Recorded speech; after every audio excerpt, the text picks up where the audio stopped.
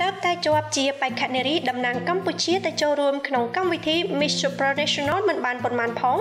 ពេលនេះអិនលក្ខណៈមានសំណាងបានក្លាយទៅជាគ្រូបង្វឹកក្នុងកម្មវិធី Miss Teen International Cambodia ទាំងវ័យក្មេងនិងពោពេញដោយសមត្ថភាព។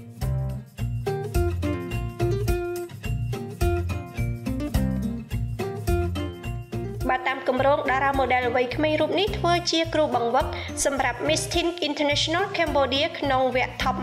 25ចាប់ពីថ្ងៃទី15ខែធ្នូឆ្នាំ2021ដល់ថ្ងៃទី30ខែមករាឆ្នាំ2022ដែលជាវគ្គផ្ដាច់ព្រាត់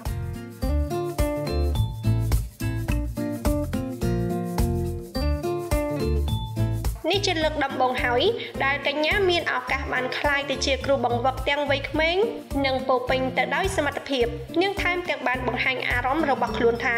នាងស្ទើរតែមិនជឿថាខ្លួនអាចធ្វើបាននោះទេ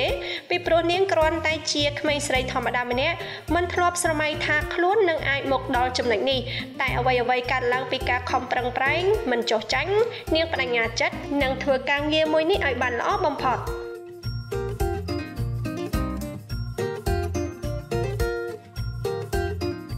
ឆ្នាំនេះកញ្ញាអិនលក្ខិណាទៅតែមានវ័យ19ឆ្នាំប៉ុណ្ណោះប៉ុន្តែនាងត្រូវបានគេចាត់ទុកថាជាបេក្ខនារីវ័យក្មេងមានទេពកោសល្យនិងមានសមត្ថភាពខ្ពស់ក្នុងវិស័យសិល្បៈទៅថ្ងៃអនាគតនាងនឹងក្លាយទៅជាសិល្បករនីល្បីល្បាញម្នាក់មិនចាញ់តារារៀមច្បងឡើយ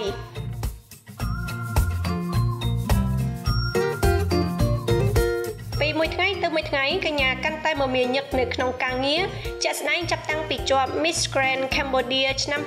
2021លំដាប់រងទី1និងត្រូវជ្រើសរើសជាបេក្ខនារីតំណាងកម្ពុជា ទៅចូលរួមក្នុងកម្មវិធី Miss Supranational ឆ្នាំ2022ដែលនឹងរៀបចំឡើងនៅប្រទេសប៉ូឡូញនៅពេលខាងមុខពេលនេះคล้ายជាគ្រូបង្វឹកទៀតកាន់តែបង្ហាញឲ្យឃើញថាអិនលក្ខណៈខ្លាំងមិនធម្មតាទេ